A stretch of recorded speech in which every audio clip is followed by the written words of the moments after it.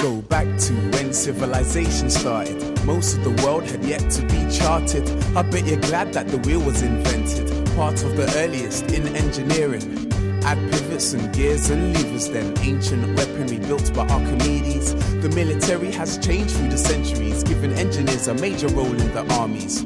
Technology provides an advantage, so a lot of the time new discoveries are guarded. But as people started sharing knowledge with each other, the industrial revolution came from steam power. Electricity took away some limitations as the world became smaller through new communications. Now cooperation is the best way forward. With the work of engineers, the future's all good. Imagine if we didn't have engineers. If one day we woke up and they all disappeared, what then? Well, our troubles would multiply. The modern world would be struggling to survive. No vehicles, no roads heating or lights, no computer systems or internet sites. Oh no, you'd be using a pen to write with a book reading under the candlelight. Engineers have made transportation through networks, vehicles, and mass automation. From the streets to the railway stations, the depths of the sea, and even the space station. Everything man made starts in our minds, but research and development can take a bit of time. So, engineers are needed who can do good designs and help bring new ideas to the production lines.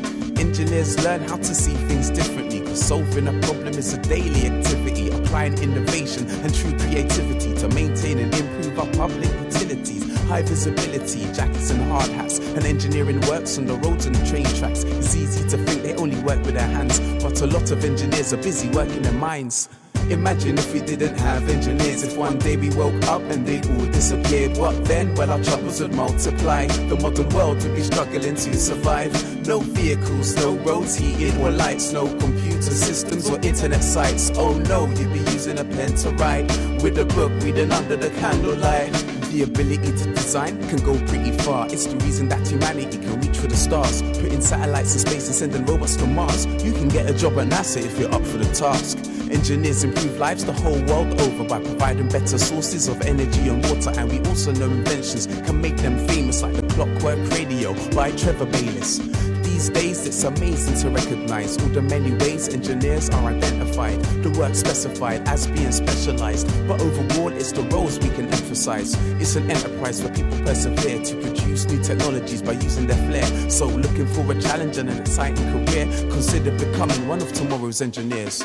Imagine if we didn't have engineers. If one day we woke up and they all disappeared, what then? Well, our troubles would multiply. The modern world would be struggling to survive. No vehicles, no roads heated or lights, no computer systems or internet sites. Oh no, you'd be using a pen to write with a book reading under the candlelight.